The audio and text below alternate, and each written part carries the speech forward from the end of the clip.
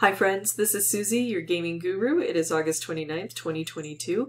I'm here for my Wordle of the Day and for According to Hoyle Day. So when I was growing up, the youngest of six in a poor family, we played a lot of cards because a deck of cards was cheap or even sometimes free. They were given away at various places. And we had a book called According to Hoyle that would give us information, all of the instructions on hundreds and hundreds of different card games, including different solitaire games.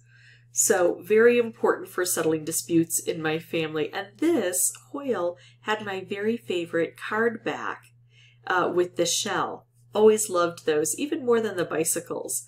So, I'm using this as my inspiration for the day. I don't think Hoyle is an actual word. I'm going to try it just because it's always fun to see if it is. Oh, it is.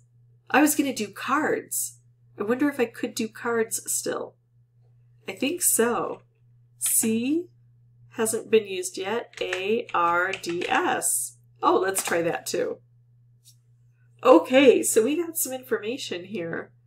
Uh, now I have to figure out what Hoyle means. So C goes here. Uh, let me go ahead and find out Hoyle because I have to sneeze anyway. Be right back. Well, that's pretty cool.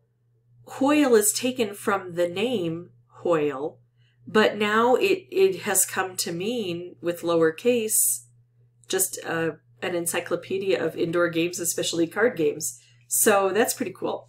All right, so we are going to now plug in the rest of this stuff.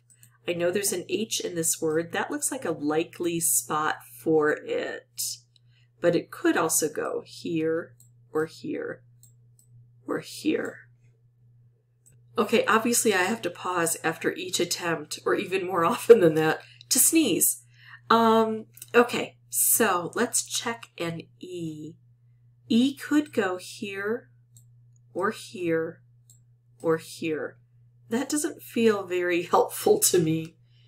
Um, let's see what other letters we haven't used that are common. So we've tried R, S, we haven't tried T. We've tried L, we haven't tried N. And we know there's an E, we just don't know where it is. We also know there's a C here. Oh. I'm feeling a little confused. Oh, we also know that there's going to be an H in here. I would just try chant if we hadn't excluded the A. All right, so let's see what we can make of all this. I think I want to exclude the C because I think getting it on the third try is not going to be likely. So I want to try to use up as many of the various things that I can here. Um, what what if we do T H oh, I have to go sneeze again. Oh, it's going to be hard to get through this one this morning. So TH, let's put it in here. And what else could we do? We haven't tried... Ooh, what about theft? That uses a lot of the stuff. It doesn't use the N, though. That's okay. Let's try it anyway. Oh, wait, we have a we have two T's there. Oh, I don't like that anymore. We could do thief. That would give us the I. Thief. Tell us whether or not there's an I in the word. Yeah, let's try that. Isn't that fun? I just love when that happens. I don't have to play around in the whiteboard anymore. There we go, Chief. Oh, I guess I'm happy that theft has two T's in it.